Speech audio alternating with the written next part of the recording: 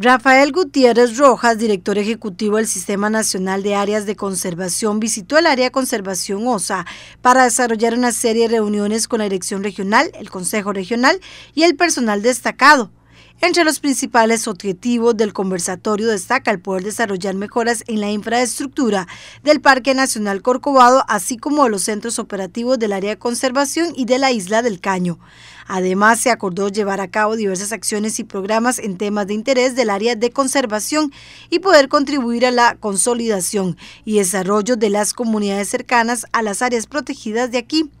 Rafael Gutiérrez indicó que la implementación de esos acercamientos con las áreas de conservación sin duda generan mejoras en procesos de infraestructura, educación ambiental, control y protección, investigación, consolidación del patrimonio natural del Estado,